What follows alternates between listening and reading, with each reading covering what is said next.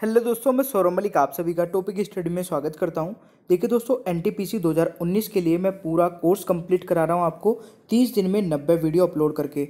और इन नब्बे वीडियो में मैं आपको रीजनिंग, मैथ और जीके का पूरा कोर्स कंप्लीट कराऊँगा टॉपिक वाइज। तो आप सभी वीडियोस के टाइमिंग नोट कर लीजिए और चैनल को सब्सक्राइब करके बेल आइकन को ऑन रखिए ताकि वीडियो अपलोड होते आपके पास नोटिफिकेशन पहुँच जाए। और जितना हो सके अपने दोस्तों को भी बताइएगा इस कोर्स के बारे में, अपने भाई बहन को जो भी प्रिपरेशन कर रहे हैं, क्योंकि बहुत ही ज़्यादा हेल्पफुल कोर्स है दोस्तों।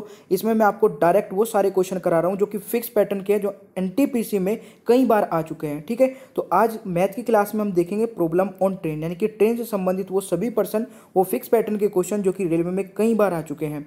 तो वीडियो को पूरा एंड तक देखिए और इन क्वेश्चन में से आप कितने सही कर पाते हैं, अपना स्कोर भी कमेंट बॉक्स में ज़रूर बताएगा चलिए फिर स्टार्ट करते हैं दोस्तों आज की वीडियो को।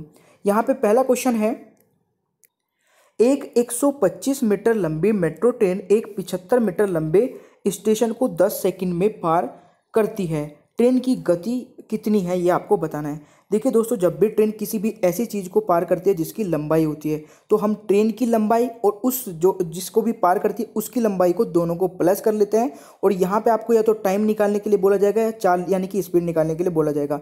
अगर क्वेश्चन में आपको टाइम दे दिया गया तो आपसे पूछ ली जाएगी गति। अगर आपको स्पीड यानी कि गति दे दी जाएगी तो आपसे पूछ लिया जाएगा टाइम। बट दोनों की जो लंबाई है, उनको प्लस करना है, इस चीज़ को ध्यान रखेगा। तो यहाँ पे जो आपकी लंबाई आ जाएगी दोस्तों, यानी कि लेंथ कितनी हो जाएगी 125 मीटर प्लस 75 यानी कि टोटल आपकी 200 मीटर की लंबाई आ गई, ठीक है? अब यहाँ पे इस लंबाई को ये 10 सेकंड में पार करती है, ठीक है? ट्रेन कितने 10 सेकंड में पार कर लेती है तो इसको 10 से भाग कर लीजिए। क्या आ जाएगा आपका? देखिए स्पीड का फॉर्मूला होता है सीधा सीधा सा, डिस्टेंस अपॉन में टाइम। डिस्टेंस आपको 200 मीटर मिल चुकी है, टाइम आपका 10 सेकंड है, ज़ीरो से डिवाइड कर दीजिए 20 मीटर पर सेकंड आपकी चाल आ गई।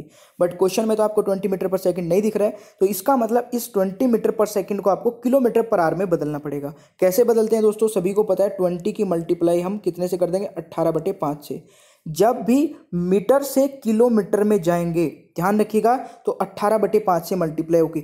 और जब भी किलोमीटर से मीटर में आएँगे तो पाँच बटे अट्ठारह से मल्टीप्लाई होगी। याद रख लीजिए, ये कई बार कंफ्यूज कर देता है। ठीक है? तो देखिए, यहाँ पे कितना हो जाएगा? पाँचों बीस और अट्ठारह की चार में कर देंगे दोस्तों, कितना हो जाएगा? बहत्तर किलोमीटर प्रति घंटा। यानी कि यहाँ पे जो ट्रेन की गति है, वो ए हो जाएगा सेवेंटी टू किलोमीटर पर आर राइट आंसर मैं आशा करता हूँ कि आप सभी स्टूडेंट को समझ में आ गया होगा। इस टाइप के क्वेश्चन कई बार आते हैं दोस्तों, ठीक है? इजी क्वेश्चन था। चलिए नेक्स्ट क्वेश्चन को देखते हैं। दोस्तों क्वेश्चन नंबर टू बहुत ही इंटरेस्टिंग है और ये कई बार रेलवे में आया है। देखते हैं कितने स्टूडेंट इसका सही आंसर कर पाते हैं। इस क्वेश्चन में बोला जा रहा है, एक लड़का रेलगाड़ी में बैठा हुआ, यह नोटिस करता है कि वह 60 सेकंड में 31 टेलीफोन के पोस्ट गिन सकता है। दोनों पोस्ट के बीच की जो दूरी है, यानी कि दो पोस्ट के जो बीच की दूरी है, वो साठ मीटर दूरी है। तो रेलगाड़ी की गति क्या होगी? यहाँ पे भी आपको स्पीड बतानी है। दोस्तों, मान लीजिए ये कुछ इस तरीके से इकतीस पोस्ट होंगे, ठीक है? ये सारे के सारे जो पोस्ट होंगे, इकतीस पोस्ट होंगे। हर एक पोस्ट के बीच की दूरी कितनी है? साठ मीटर की है। तो मैं मान लेता हूँ साठ इसमें साठ साठ साठ साठ इस तरीके से चल रहा होगा, बट जो यहाँ पे लास्ट वाला इकतीसवा पोस्ट होगा, उसकी तो दूरी नहीं काउंट करेंगे। तो आप मुझे ये बताइए, रेलगाड़ी में बैठे हुए व्यक्ति ने जो ये बैठा हुआ व्यक्ति है, इसने यहाँ से, जो लड़का है, यहाँ से लेकर यहाँ तक की कितनी दूरी कवर कर ली। तो यहाँ से लेकर यहाँ तक की दोस्तों मैं काउंट करूँगा तो ये एक माइनस कर लें, क्योंकि लास्ट वाला जो पोल है, जो आपका ये आपका ये पोल है, इससे आगे की दूरी हम नहीं काउंट करेंगे। तो थर्टी मल्टीप्लाई दोस्तों साठ कर लेंगे, यानी कि कितना आ जाएगा? टोटल अट्ठारह सौ मीटर की दूरी इसने कवर की। कितने समय में? साठ सेकंड में, क्योंकि साठ सेकंड में इसने इकतीस टेलीफोन के पोस्ट गिन लिए। तो इसका मतलब इसने साठ सेकंड में इन इकतीस पोलों को गिना है तो इनके बीच की सारी दूरी कवर कर ली होगी। तो इनके बीच की दूरी कवर की है दोस्तों तो इसने कितने सेकंड में कर ली? साठ सेकंड में। तो यहाँ पे भी आपको टाइम मिलेगा दोस्तों, साठ सेकंड और डिस्टेंस मिल गई आपको अट्ठारह मीटर। तो आप निकाल सकते हैं यहाँ पे भी दूरी। तो 1800 को दोस्तों 60 से भाग करेंगे, कितना हो जाएगा यहाँ पे? ज़ीरो से ज़ीरो कट जाएगी, ये आपका आ जाएगा 30 मीटर पर सेकंड अब 30 मीटर पर सेकंड का मैं तो आपको क्वेश्चन नहीं दे रखा है तो यहाँ पे आप इसको भी बदल लेंगे। 30 मल्टीप्लाई एट्टीन अपॉन में फाइव यानी कि सिक्स टाइम जाएगा और ये अट्ठारह की मल्टीप्लाई करेंगे 108 किलोमीटर प्रति घंटा, यानी कि ऑप्शन बी राइट आंसर हो जाएगा। दोस्तों, इसमें जो समझने वाली बात थी सिर्फ़ यही थी कि हम इसमें लास्ट वाला जो पोल है, इसको काउंट नहीं करेंगे और यही क्वेश्चन को इम्पोर्टेंट बना देता है। मैं आशा करता हूँ कि आप सभी स्टूडेंट को ये क्वेश्चन समझ में आ गया होगा। इस टाइप के क्वेश्चन कई बार रेलवे में आते हैं। अगर नेक्स्ट टाइम पूछा जाएगा तो आप सभी कर लेंगे। ठीक है? चलिए नेक्स्ट क्वेश्चन को देखते हैं। दोस्तों नेक्स्ट क्वेश्चन बहुत ही आसान है और ये एन टी पी सी दो हज़ार सोलह में पूछा गया था। तो एक बार इसको ट्राई करिए और अभी इसी टाइप के क्वेश्चन आर आर में भी पूछे गए थे। तो इस क्वेश्चन में बोला गया है, एक डेढ़ सौ मीटर लंबी रेलगाड़ी चौवन किलोमीटर प्रति घंटा की रफ्तार से चल रही है। रेलगाड़ी द्वारा एक खंबे को पार करने में लगने वाला समय ज्ञात करिए। देखिए, अभी मैंने बताया था सबसे पहला क्वेश्चन जब भी रेलगाड़ी ऐसी चीज़ को पार करती है जिसकी लंबाई होती है तो उसको हम प्लस कर लेते हैं। ठीक है? बट यहाँ पे बात की जा रही है खंबे की। तो खंबे की हाइट तो होती है बट कुछ यहाँ पे ऐसे लंबाई नहीं होती लेंथ कुछ नहीं होती है। तो इसका मतलब लंबाई, इसकी कुछ आपकी लेंथ नहीं होगी। तो इसका मतलब आप क्या करेंगे? जो भी रेलगाड़ी की लंबाई होगी, सिर्फ़ वही लंबाई लेंगे और जो भी रेलगाड़ी की चाल होगी, उसी से उसको भाग कर देंगे। बस इतना ही करना है क्योंकि अगर किसी भी ऐसी चीज़ को आप लेते हैं जिसकी लंबाई होती है तो उसको प्लस करके भाग करते हैं रेलगाड़ी की चाल से। अगर किसी भी ऐसी चीज़ को पार किया जा रहा है जिसकी कुछ लंबाई नहीं है, जैसे खंबा हो गया, ठीक है कोई भी व्यक्ति खड़ा हुआ प्लेटफॉर्म पे, व्यक्ति खड़ा है, ऐसे भी तो बोल जाता है कि ट्रेन किसी व्यक्ति को पाँच सेकंड में पार कर लेती है तो ट्रेन की चाल कुछ भी पूछ जाता है इस तरीके से। तो यहाँ पे आपसे जब भी ऐसे क्वेश्चन आपसे पूछा जाए तो जो भी ट्रेन की लंबाई होती है दोस्तों ट्रेन की लंबाई को ट्रेन की चाल से, यानी कि रेलगाड़ी की चाल से भाग कर देते हैं। यहाँ पर जो आपकी ट्रेन की लंबाई कितनी है? वन मीटर अब एक चीज़ का ध्यान रखिएगा, यहाँ पे किलोमीटर में दे रखा है, यहाँ पे मीटर में। जब भी आपको लेंथ मीटर में दे रखी हो और स्पीड दे रखी हो, किलोमीटर प्रति घंटा में तो इसको मीटर पर सेकंड में ही बदल के लेंगे। यानी कि दोनों यूनिट आपकी सेम होनी चाहिए। अगर आपकी लेंथ दे रखी है मीटर में तो चाल भी आपकी मीटर पर सेकेंड में होनी चाहिए। अगर आपकी लेंथ दे रखी किलोमीटर में तो जब आपकी ये जो चाल होगी, वो भी किलोमीटर प्रति घंटा में होनी चाहिए। अब 54 को दोस्तों किलोमीटर प्रति घंटा में बदलेंगे तो क्या करेंगे इसका 54 में मल्टीप्लाई करेंगे, पाँच बटे अट्ठारह की, मैंने अभी बताया था आपको, जब भी किलोमीटर से मीटर में जाएँगे तो पाँच बटे अट्ठारह की मल्टीप्लाई होगी। तो यहाँ से आपका कितनी बार हो जाएगा? तीन बार और पाँच या पंद्रह, यानी कि पंद्रह मीटर पर सेकेंड इसकी चाल आ गई। अब डेढ़ सौ को आप पंद्रह से भाग करेंगे, देखिए बहुत ही सिंपल सा क्वेश्चन है तो कितना आ जाएगा? दस सेकेंड, यानी कि दस सेकेंड, यानी कि option B is the right answer. मैं आशा करता हूँ कि आप सभी को ये क्वेश्चन समझ में आ गया होगा। दोस्तों, एक चीज़ मैं आपसे बोलना चाहूँगा, बिल्कुल भी मैं बोलना नहीं चाहता हूँ बार बार अगर आपको वीडियो पसंद आती है तो एक भी स्टूडेंट ऐसा नहीं होना चाहिए कि वो लाइक ना करे। अगर आपका कोई भी रीज़न है कि मैं लाइक क्यों नहीं करना चाहता तो नीचे कमेंट बॉक्स में बता सकते हैं। बट बहुत मेहनत से मैं वीडियो बनाता हूँ, आपके लिए डेली कंटिन्यूसली वीडियोज़ अपलोड कर रहा हूँ। तो प्लीज़ थोड़ा सा सपोर्ट करिए वीडियो को लाइक करिए और अपने दोस्तों को, अपने फ्रेंड सर्कल में ज़रूर शेयर करिए। चलिए फिर नेक्स्ट क्वेश्चन को देखते हैं। दोस्तों क्वेश्चन नंबर फोर भी बहुत इंपॉर्टेंट है। और इस ये मतलब फिक्स टाइप के क्वेश्चन है। जो फिक्स पैटर्न के क्वेश्चन होते हैं ना, जो कि रेलवे हमेशा पूछता है। तो इस क्वेश्चन को भी दोस्तों ट्राई करिए और मुझे बताइए कि आप आंसर कर पाए या नहीं कर पाए। इस क्वेश्चन में बोला जा रहा है, एक दो मीटर लंबी रेलगाड़ी एक विद्युतीय खंबे को आठ सेकेंड में पार कर सकती है। सॉरी करती है। यदि यह एक प्लेटफॉर्म को पार करने में बीस सेकेंड लेती है तो प्लेटफॉर्म की लंबाई कितनी होगी? दोस्तों सबसे पहले आपको यहाँ पे ट्रेन की जो है लंबाई दे दी गई है और ट्रेन की आ, बताती है कि खंबे को आठ सेकंड में पार कर लेते हैं। तो यहाँ से हम स्पीड निकाल सकते हैं। ट्रेन की चाल कितनी है? क्योंकि मैंने अभी आपको बताया था जब भी ट्रेन किसी भी खंबे को पार करती है तो हम क्या मान लेते हैं कि जो ट्रेन की लंबाई है उसी की चाल से भाग कर देंगे। तो यहाँ पे हम कुछ इस प्रकार ये समय निकाल देंगे। आपका जो टाइम है सॉरी टाइम बराबर डिस्टेंस अपॉन में स्पीड। अब आपको क्या क्या दे रखा है? टाइम दे रखा है एट सेकेंड और डिस्टेंस दे रखी है 250 इक्वल और यहाँ पे स्पीड आपको निकालनी है। तो यहाँ पे आप 250 को दोस्तों आठ से अगर भाग कर देंगे तो आपकी स्पीड आ जाएगी। स्पीड कितनी आएगी?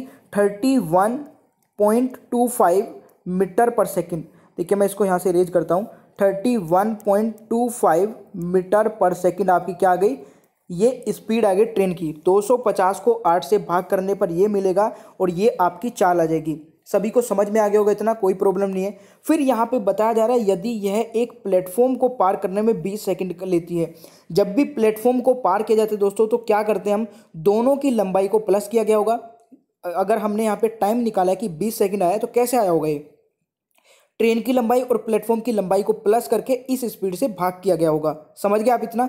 अगर आप इतना समझ चुके हैं तो यहाँ पे ट्रेन की लंबाई प्लस प्लेटफॉर्म की लंबाई को प्लस किया होगा और स्पीड से भाग किया होगा और ये आपका टाइम आ गया होगा। टाइम आपको दे दिया बीस सेकेंड और इन दोनों को हमने मान लिया यहाँ पे टी और पी को, यहाँ पे टी और पी लिख लेते हैं और यहाँ पे स्पीड है thirty one point two five. आप मुझे बताइए thirty one point two five की मल्टीप्लाई अगर मैं यहाँ पे क्रॉस करके बीस में कर दूँ तो मुझे दोनों ट्रेन और प्लेटफॉर्म की लंबाई पता चल जाएगी। आप मानते हैं इस बात को? तो यहाँ पे दोस्तों, thirty one point two five की मल्टीप्लाई जब मैं ट्वेंटी में करता हूँ तो कितना आता है यहाँ पे? ये आपका something something six hundred twenty five metre आ जाएगा। Six hundred twenty five metre T और पी यानी कि आपकी ट्रेन और प्लेटफॉर्म की दोनों की लंबाई है। दोस्तों, हमें यहाँ पे जब पता है कि ट्रेन हमारी 250 मीटर लंबी है तो इसमें से 250 को हम माइनस कर लेंगे। तो कितना बचेगा आपका यहाँ पे? तीन बच जाएगा दोस्तों, तीन तो तीन क्या होगा? प्लेटफॉर्म बच जाएगा। तो प्लेटफॉर्म की लंबाई तीन मीटर आ जाएगी, यानी कि option A is the right answer मैं आशा करता हूँ कि ये क्वेश्चन आपको 100 परसेंट समझ में आया होगा दोस्तों। अगर आपको ये समझ में आया तो प्लीज़ वीडियो में मुझे कमेंट करके ज़रूर बता दीजिएगा कि समझ में आ गया। और अगर समझ में नहीं आया तो तब भी बता दीजिएगा, क्योंकि अगर आप तब तक मेरे को बताएँगे नहीं कुछ चीज़ की, मेरी को समझ में नहीं आया, या फिर कोई भी आपका डाउट है कि क्या मेरे को इम्प्रूव करना चाहिए पढ़ाने में, वो सारी चीज़ें अपना फीडबैक बताया करें, ठीक है? तभी एक अच्छी वीडियो एक अच्छी क्वालिटी की वीडियो बन पाएगी। ठीक है दोस्तों, चलिए फिर नेक्स्ट क्वेश्चन पे चलते हैं। दोस्तों क्वेश्चन नंबर फाइव भी बहुत ही इंपॉर्टेंट है। मैं सारे के सारे क्वेश्चन जितने भी लेके आऊँ सारे ही इंपॉर्टेंट है तो एक भी क्वेश्चन को मिस मत करिएगा। इसमें बोला जा रहा है कि 126 किलोमीटर घंटे की चाल से चल रही एक रेलगाड़ी बहत्तर किलोमीटर प्रति घंटे की चाल से चल रही एक कार को 40 सेकंड में पार करती है। रेलगाड़ी की लंबाई मीटर में क्या होगी, ये आपको बताना है। दोस्तों, आप मुझे ये बताइए, हमें यहाँ पे पता चला 126 किलोमीटर प्रति घंटे की चाल से चल रही है रेलगाड़ी और बहत्तर किलोमीटर प्रति घंटे की चाल से चल रही है आपकी कार। ठीक है? तो अब यहाँ पे एक आ, मतलब वो आता है जब भी दो मूविंग ऑब्जेक्ट अब मूविंग ऑब्जेक्ट वाली बात आ गई। एक तो आपका ट्रेन मूव कर रही है एक आपकी कार मूव कर रही है। अब कार की भी आपकी कुछ लंबाई हम नहीं मानते हैं दोस्तों ठीक है? कार भी हम लंबाई नहीं मानते हैं कार की लंबाई हम क्वेश्चन में कभी नहीं मानते अगर कार आपको क्वेश्चन में लिखा हुआ मिलता है तो उसकी कुछ लंबाई नहीं होती हम ऐसा एज्यूम करते हैं ठीक है? तभी आप क्वेश्चन सोल्व करेंगे। और ये ऐसा नहीं कि मैं अपनी तरफ़ से बता रहा हूँ ये आपका हमेशा के लिए ऐसा ही रहेगा ठीक है? तो जब भी दो मूविंग ऑब्जेक्ट जो इसमें मेन चीज़ है ना सीखने की, वो सीखिए। दो मूविंग ऑब्जेक्ट जब एक ही दिशा में जाते हैं तो दोनों की चाल का अंतर लेते हैं। यानी कि 126 किलोमीटर प्रति घंटे की चाल से रेलगाड़ी जा रही है और बहत्तर किलोमीटर प्रति घंटे की चाल से आपकी कार जा रही है, ठीक है? तो इन दोनों की चाल का अंतर लेंगे। मान लीजिए दोनों एक दूसरे की तरफ़ को आती, इस तरीके से अपोजिट डायरेक्शन में आती है। उस कंडीशन में दोनों की चाल को प्लस करते। दोस्तों, अब याद रखिएगा, अगर दोनों मूविंग ऑब्जेक्ट एक ही दिशा में जा रहे हैं और उसमें से सिर्फ़ एक की लंबाई है, रेलगाड़ी की लंबाई है, केवल दूसरी कार है तो उस कंडीशन में जो भी रेलगाड़ी की लंबाई होगी, जो भी रेलगाड़ी की लंबाई होगी, सिर्फ़ उसको भाग कर देंगे। तो रेलगाड़ी की लंबाई मैंने लिख लिया लेंथ ऑफ़ ट्रेन को डिवाइड करेंगे किससे दोस्तों? दोनों की चाल के अंतर से, क्योंकि दोनों एक ही दिशा में जा रही है। तो दोनों का अंतर कितना हो जाएगा? 126 माइनस बहत्तर। दोस्तों, कितना आ जाएगा? चौवन आ जाएगा यहाँ फिफ्टी फोर तो फिफ्टी फोर किलोमीटर प्रति घंटा को दोस्तों हम मीटर पर सेकंड में बदलेंगे, पाँच बटे अट्ठारह की मल्टीप्लाई करके तो पंद्रह मीटर पर सेकंड आ जाएगा। ठीक है? तो अब देखिए लेंथ ऑफ़ ट्रेन मैंने क्यों ली है? क्योंकि दोनों जो मूविंग ऑब्जेक्ट जा रहे हैं, इसमें केवल लेंथ जो है ट्रेन की है। अगर दोनों मूविंग ऑब्जेक्ट की लेंथ होती, मान लीजिए दोनों ट्रेन ही होती है तो दोनों की लेंथ को प्लस करते और दोनों की चाल के अंतर से भाग करते। ठीक है? तो यहाँ पे दोस्तों जो स्पीड आई है, वो कितनी आ गई आपकी? पंद्रह मीटर पर सेकेंड आ गई, ठीक है? और यहाँ पे जो टाइम दिया है वो चालीस सेकेंड दिया है तो यहाँ पे मैं चालीस सेकेंड लिख लेता हूँ। आपसे रेलगाड़ी की लंबाई पूछी गई है। कुछ नहीं करना, बस क्रॉस मल्टीप्लाई कर दीजिए। पंद्रह में चालीस की करेंगे, कितना हो जाएगा दोस्तों? यहाँ पे लेंथ ऑफ़ ट्रेन को मैं एक्स लिख लेता हूँ और ये आपका पंद्रह की चालीस में होगा तो दोस्तों छः सौ मीटर आ जाएगा। यानी कि जो ट्रेन की लंबाई है वो छः सौ मीटर हो जाएगी। देखिए क्वेश्चन बहुत आसान है। एक बार और फिर से मैं इसमें कुछ और ऐड करके बताता हूँ। मान लीजिए ट्रेन दो अपोजिट डायरेक्शन से आती, ठीक है? यानी कि ये कार और ये। तो उस कंडीशन में दोस्तों लेंथ ऑफ़ ट्रेन तो सेम रहती वही। ठीक है, यानी कि एक्स ही मानते क्योंकि हमें नहीं पता, और पंद्रह मीटर पर सेकंड की जगह आप इन दोनों को प्लस करते और इन दोनों को प्लस करने के बाद में तब आप पाँच पाँच बटे अट्ठारह से मल्टीप्लाई करके तब चाल निकालते, तब आपकी कंडीशन दूसरी हो जाती। एक चीज़ को और समझिए, मान लीजिए दोनों ट्रेन आपकी, दोनों की दोनों ट्रेन होती है, ठीक है? दोनों की दोनों ट्रेन होती है, दोनों की लंबाई होती है कुछ। तो उस कंडीशन में ट्रेन वन को प्लस करते हैं और ट्रेन टू को भी प्लस करते लेंथ ऑफ़ सेकंड ट्रेन को भी प्लस करते। दोनों की ट्रेन को प्लस करके दोनों की चाल से ही भाग करते, ठीक है? बस दोनों की चाल में एक चीज़ का डिफरेंस रहेगा। अगर दोनों अपोजिट डायरेक्शन में है तो प्लस करेंगे और एक ही दिशा में जा रही है तो दोनों का अंतर लेंगे। मैं आशा करता हूँ कि ये क्वेश्चन आपको समझ में आ चुका होगा दोस्तों। किसी का भी डाउट बचा है तो नीचे कमेंट बॉक्स में पूछ लीजिएगा। नेक्स्ट क्वेश्चन पे चलते हैं। दोस्तों क्वेश्चन नंबर सिक्स बहुत ही इंटरेस्टिंग है और मैं इस क्वेश्चन को बहुत ही आसान बनाने वाला हूँ। बस आप थोड़ा सा ध्यान से कॉन्सेंट्रेशन के साथ में देखिएगा। इसमें बोला जा रहा है, रेलगाड़ी पी बिंदु ए से प्रात दस बजे चलती है। मतलब कि रेलगाड़ी जो पी है, वो बिंदु ए से प्रात दस बजे चलती है और साठ किलोमीटर प्रति घंटा की समान गति से सीधे ट्रैक 360 किलोमीटर दूरी तय करने में बिंदु बी तक पहुँचती है। रेलगाड़ी क्यों प्रात ग्यारह बजे बिंदु बी से चलना प्रारंभ करती है और एक समान गति से बिंदु ए की ओर जाती है। देखिए, समान गति का मतलब हम यहाँ पे मान के चलेंगे कोई स्पीड होगी जिसकी हमें ज़रूरत भी नहीं पड़ने वाली। स्पीड की इस क्वेश्चन में कोई ज़रूरत भी नहीं पड़ने वाली, कोई भी स्पीड हो सकती है वो, ठीक है? फिर यहाँ पे बोला जा रहा है, रेलगाड़ी पी की पी को यह रेलगाड़ी बिंदु बी से 120 किलोमीटर की दूरी पार पर पार करती है। यानी कि जो रेलगाड़ी पी है पी को यह रेलगाड़ी बी बिंदु बी से जो आपकी चली थी, वो 120 किलोमीटर की दूरी पर पार करती है। रेलगाड़ी क्यू की चाल बताइए। अब देखिए थोड़ा सा कंफ्यूजिंग हो गया क्योंकि क्वेश्चन थोड़ा हो गया लंबा। अब थोड़ा सा मैं विजुलाइज कराता हूँ आपको, इस तरीके से थोड़ा सा डायग्राम बना के। मान लीजिए, ये हमारी पूरी की पूरी एक डिस्टेंस है। ये डिस्टेंस कितनी है? थ्री सिक्सटी है। थ्री सिक्सटी किलोमीटर की है, यहाँ पे बताई दिया। अब यहाँ पे एक ट्रेन ए पॉइंट ये है और बी पॉइंट ये है। ए पॉइंट से चलती है एक ट्रेन इस तरफ़ को और उसकी चाल होती है दोस्तों कितनी? साठ किलोमीटर प्रति घंटा। ठीक है? साठ किलोमीटर प्रति घंटा होती है और साठ किलोमीटर प्रति घंटा चलती है, ये दस बजे चलती है। दस बजे चलती है। यहाँ पे मैंने लिख लिया। अब दूसरी जो ट्रेन है, जो बी पर पहुँचती है, ठीक है, इसके बाद रेलगाड़ी क्यों प्रात ग्यारह बजे, जो कि एक घंटा लेट चलती है इससे बिंदु बी से चलना प्रारंभ करती है और एक समान गति से बिंदु ए की ओर चलती है। ठीक है? समान गति से बिंदु ए की ओर चलती है। तो यहाँ पे देखिए दोस्तों, मैं कुछ आपको शायद गलत बोल गया था। यहाँ पे किलोमीटर जो आपके दे रखा है ना, साठ किलोमीटर प्रति घंटा। चाल यहाँ पे दे रखी है तो दोनों की चाल साठ किलोमीटर प्रति घंटा ही रहेगी, क्योंकि यहाँ पे समान गति बोली जा रही है। शायद मैं आपको ये बोला था कि इस क्वेश्चन में स्पीड की ज़रूरत नहीं पड़ने वाली, बट आपको क्वेश्चन में दे रखा है। रेलगाड़ी पी को यह रेलगाड़ी बिंदु बी से 120 किलोमीटर की दूरी पर पार करती है। तो यहाँ पर रेलगाड़ी क्यों की क्यों की चाल आपको बतानी सिर्फ़ क्यों की चाल। अब मुझे ये बताइए, जब ये रेलगाड़ी चलना प्रारंभ करेगी यहाँ से यहाँ तक तो एक घंटे में ये कुछ एक्स्ट्रा चल चुकी होगी। और ये जब यहाँ पे इसको मिलती है, ये बोला जा रहा है यहाँ पे अपराध ग्यारह बजे बीट चलना प्रारंभ करती है और एक समान गति से बिंदु ए की ओर जाती है। रेलगाड़ी पी को यह रेलगाड़ी बिंदु बी से 120 किलोमीटर की दूरी पर मिलती है। यानी कि यहाँ पे 120 किलोमीटर पर मिलती है बी बिंदु से ये वाली क्यू जो रेलगाड़ी है, पी रेलगाड़ी को यहाँ पे पार करती है 120 किलोमीटर। दोस्तों, आपकी टोटल डिस्टेंस 360 है। अब 360 को जब मैं, देखिए यहाँ पे, अब इसको मैं रेज कर रहा हूँ भाई, ठीक है? 360 आपकी टोटल दूरी है। उसमें से 120 किलोमीटर क्यू वाली जो ट्रेन है, आके पार करती है पी वाली ट्रेन को। तो यहाँ पे माइनस कर लेता हूँ, बचा कितना? 240 अब 240 किसने कवर किया होगा? 240 कवर किया होगा पी वाली ट्रेन ने, जो इस साइड से चल रही थी। उसकी चाल कितनी है? 240 को दोस्तों साठ से भाग कर लीजिए, क्योंकि साठ की चाल से वो चल रही है। तो यहाँ पे चार घंटे आपका आ जाएगा। चार घंटे में वो कितनी? 240 कवर करती है। और यहाँ पे एक चीज़ देखिए, ये वाली जो क्यू वाली ट्रेन थी, ये आपकी 11 बजे चली थी। यानी कि अगर ये 10 बजे चली थी तो ये 11 बजे, अगर इसने चार घंटे चली है तो ये केवल तीन घंटे चली होगी। और ये तीन घंटे में 120 किलोमीटर चली है तो 120 को अगर मैं यहाँ पे तीन से भाग कर दूँ तो दोस्तों कितना आएगा? 40 किलोमीटर प्रति घंटा। तो यहाँ पे हमारे अब मिल गया कि क्यू की चाल कितनी होगी? 40 किलोमीटर प्रति घंटा होगा, यानी कि ऑप्शन डी, यही आपसे क्वेश्चन में पूछा गया था। मैं आशा करता हूँ दोस्तों कि आपको ये क्वेश्चन समझ में आ गया होगा, ठीक है? चलिए नेक्स्ट क्वेश्चन पे चलते हैं फिर।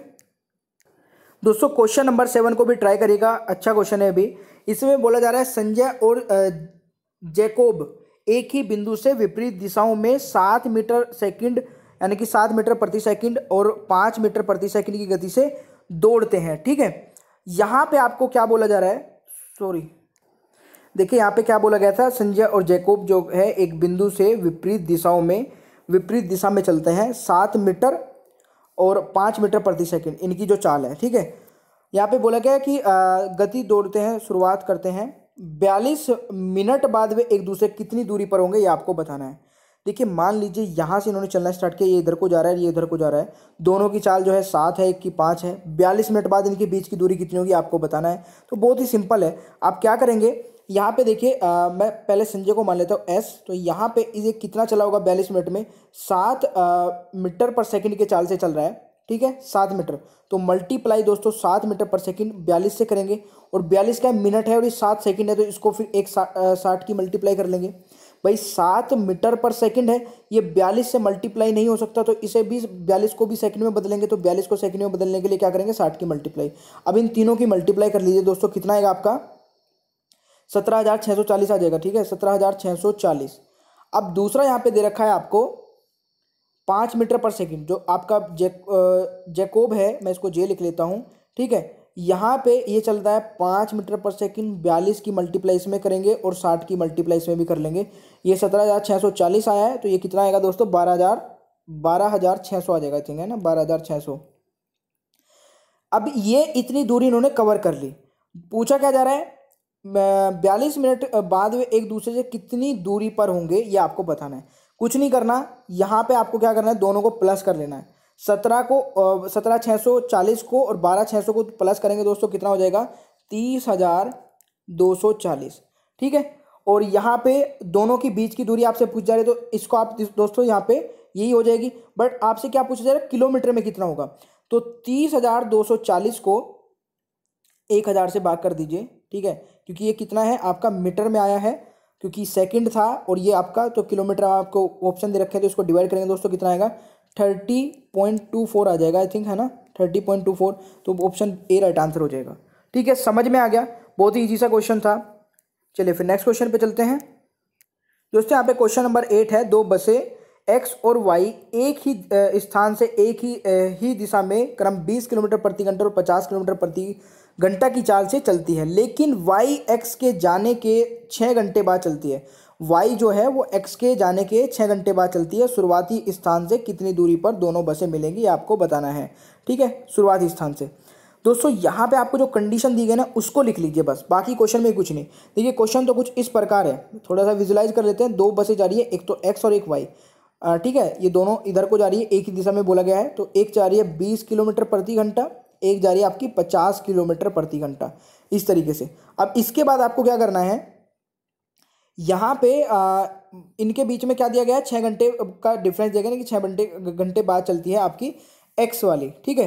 तो यहाँ पे मैं लिखूँगा सिक्स बराबर एक्स ये मैं मान लेता हूँ कि ये एक्स दूरी पर मिलेंगी। तो अगर ये एक्स दूरी पर मिलेगी तो ये एक्स दूरी को कितनी देर में कवर करेगा भाई? बीस बटे एक्स को बीस से भाग कर लेंगे। एक्स को देखिए, मैं मान लेता हूँ कि दोनों एक्स दूरी पर मिलेंगी तो यहाँ पे एक्स की चाल कितने बीस किलोमीटर प्रति घंटा तो एक्स को बीस से भाग कर देंगे। फिर माइनस वाई आपको हम मान लेते हैं, जो वाई है आपका सॉरी एक्स ही रहेगा ना डिस्टेंस तो ये एक्स दूरी पर मिलेगी। इसकी चाल कितनी है? वाई की पचास किलोमीटर प्रति घंटा तो इसे पचास से भाग कर देंगे। समझ गए? मैं थोड़ा सा यहाँ पे स्पेस बढ़ा लेता हूँ। भाई, इनके बीच में अंतर छः घंटे का है। ये एक्स किलोमीटर मैंने मान लिया कि एक्स किलोमीटर दूर पे ये मिलेंगे तो यहाँ पे एक्स को भाग कर लेंगे ट्वेंटी किलोमीटर प्रति घंटा से माइनस, और यहाँ पे एक्स को भाग कर देंगे पचास मीटर पर सेकंड से। यही दिया ना आपका? तो यहाँ पे सॉरी किलोमीटर प्रति घंटा। तो यहाँ पे अब देखिए, इनको सोल्व कर लेते हैं। अब दोनों का एल्शियम लेंगे, कितना आएगा? हंड्रेड आ जाएगा पचास का। तो ये कितना होगा? Five x minus two x. और ये किसके कॉल है? सिक्स के। क्रॉस मल्टीप्लाई कर लीजिए दोस्तों, यहाँ पे पाँच एक्स में से टू एक्स जाएगा तो कितना बचेगा? थ्री एक्स बराबर छः सौ। और एक्स की वैल्यू कितनी आ जाएगी? दो सौ। यानी कि यहाँ पे दो सौ किलोमीटर आपका राइट आंसर हो जाएगा। समझ में आ गया? यानी कि जो क्वेश्चन में आपको बोला गया था, सिर्फ़ आपने वही लिखा है, कुछ भी एक्स्ट्रा से नहीं किया है। भाई, यहाँ पे आपको डिफरेंस जो बताया गया था, वो कितना बताया गया था डिफरेंस आपका दोनों का छः घंटे बाद चलता है, ठीक है? तो इनके बीच का डिफरेंस छः घंटे का हो गया। हमने माना कि ये दोनों के दोनों कहीं एक्स पॉइंट पर मिलेंगे एक्स दूरी पर। तो आपने एक्स को भाग किया पहले तो बीस से, क्योंकि ये एक्स जो चलता है बीस किलोमीटर प्रति घंटा और वाई चलता है पचास से तो एक्स को आपने एक तरफ़ पचास से कर लिया। दोनों का अंतर छः घंटे का है, बस इसको सोल्व कर लीजिए, ठीक है? चलिए नेक्स्ट क्वेश्चन पर चलते हैं। दोस्तों क्वेश्चन नंबर जो नाइन है, इसको आप ट्राई करेंगे खुद से, और सभी को आंसर नीचे कमेंट बॉक्स में बताना है, जिसका भी आंसर सही होगा, मैं लाइक कर दूँगा। ठीक है? तो आप कमेंट ज़रूर बताइएगा। और दोस्तों, आपको वीडियो कैसी लगी है? देखिए, आप इस वीडियो को पोज करके